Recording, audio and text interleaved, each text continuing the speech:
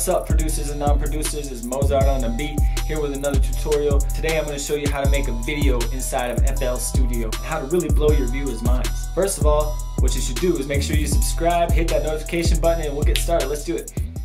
Hey guys, Modezart on the beat. Hope everyone's having a good Thursday.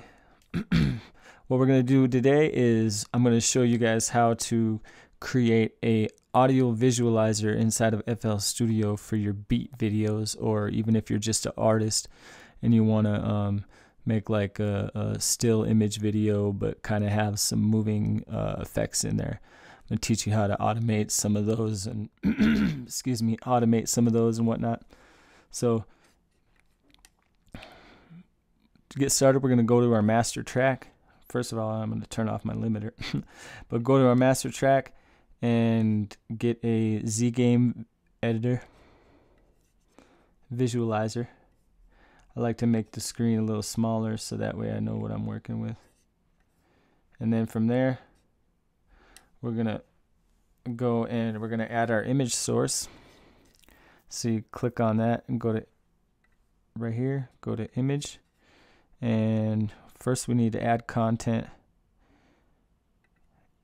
add go to add pictures go to the area where you have your image you want to upload and once that's uploaded you go to main click on your image source excuse me click on your image source and boom there it is. Now what I'm going to do is I'm going to kind of piggyback off of uh, Curtiss King uh, Curtiss King's most recent visualizer tutorial. Um, so so you, we all know that we got the uh, the wave spectrums and whatnot, but what I like to do is I like to add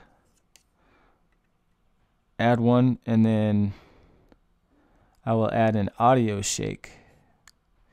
And if you see the amount's already at half, you just turn it down a bit. And you you have to give it just a little. And we're gonna see it's it's really weak. It's just loose and floppy.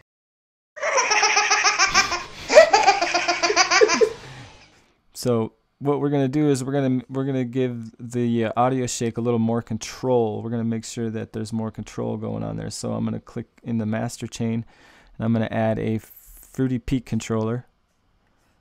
Once that's in there, I'm going to shrink this down just here. Um, I'm going to unmute it and then I'm going to go back to the Z Game Visual Editor and click on my amount. Right click, go to Link Controller, click on Internal Control Internal Controller, and click on the first peak control peak LFO plus LFO. I mean, and now, now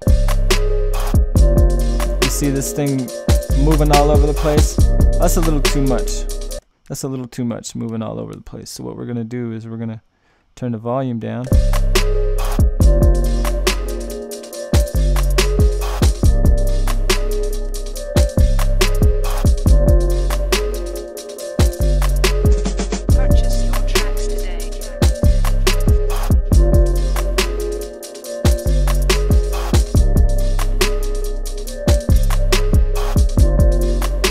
Now you see And now you see how controlled that is. That's that's really nicely controlled right there. I, I like I like that. I like that. I like it a lot. If that doesn't suit your fancy, what we'll do now is we'll add another Fruity Peak controller and we go into hue, turn that up a little bit, and then we want to mess with the saturation. And you see, look at this. I want it to go like that to the music. So I'm gonna I'm gonna right click on saturation, link to controller, go to the internal controller, and now click on the second peak control, peak plus LFO. And now, oh that's right, before we I keep forgetting, you gotta unmute, every time you add a Fruity Peak control. you gotta go and uh, unmute it. So now, now it's going to change color. And, add our add some bass in there.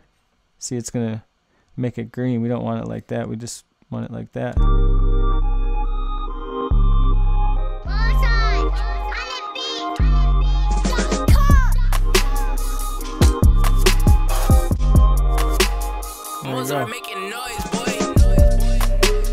Now you got audio shake and changing color.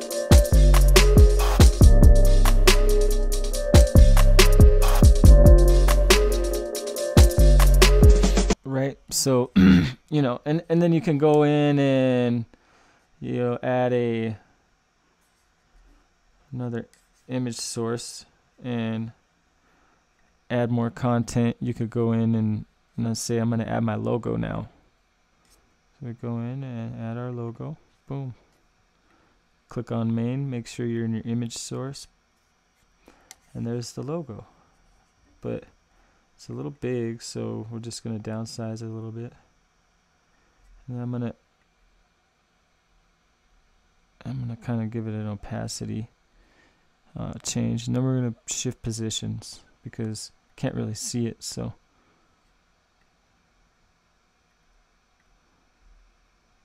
Oh, size, yeah. Make it small. There we go. Alright, and then add another one. Why not? And then we can go ahead and add our uh, add our audio spectrum. Just turn the alpha down just a hair. Change the hue, saturation, boom. And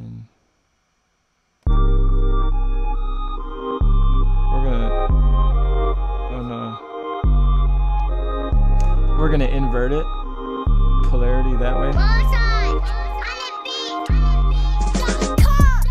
Mess with the bands.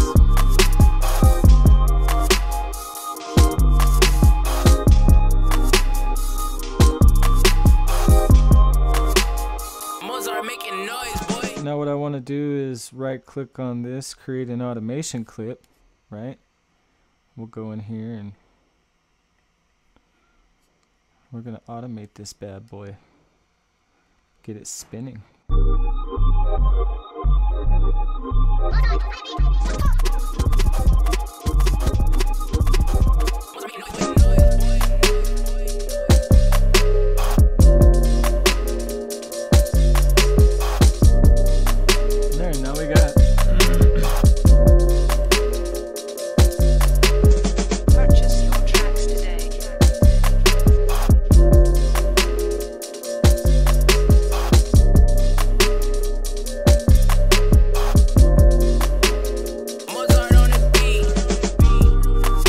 Now we got spinning.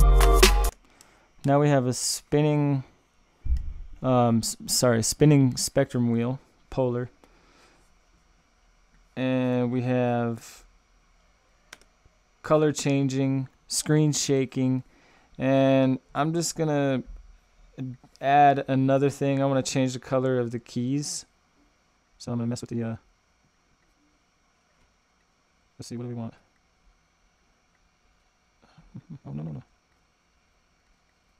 We're to have the, the keys change colors. So I'm to link to controller, go to the second peak LFO, click accept. You can see this the colors changing.